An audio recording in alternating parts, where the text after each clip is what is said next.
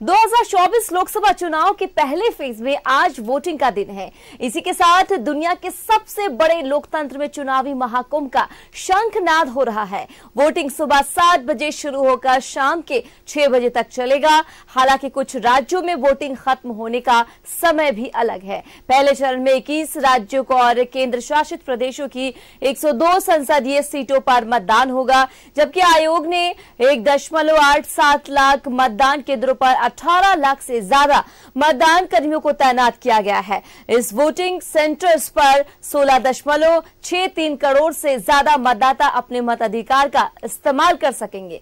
मतदाताओं में आठ दशमलव चार करोड़ पुरुष, जबकि आठ दशमलव दो तीन करोड़ महिलाएँ और ग्यारह हज़ार तीन सौ इकहत्तर थर्ड जेंडर शामिल हैं।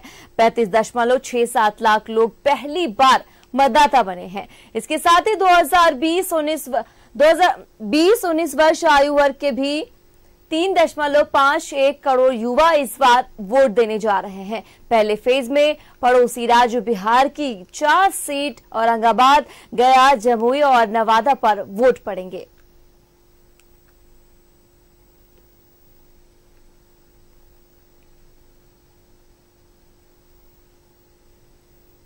तो सुबह सात बजे से शाम के छह बजे तक डाले जाएँगे वोट, जिसे लेकर तमाम मतदाताओं में उत्साह भी देखी जा रही है। तमाम तैयारियाँ आयोग की तरफ़ से देखी जा रही है।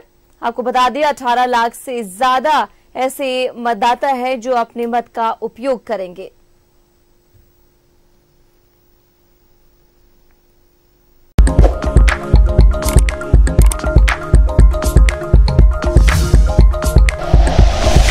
Like and share videos, subscribe करें हमारा चैनल और प्रेस करें बेल आइकॉन न्यूज़ 11 भारत. सच है तो दिखेगा।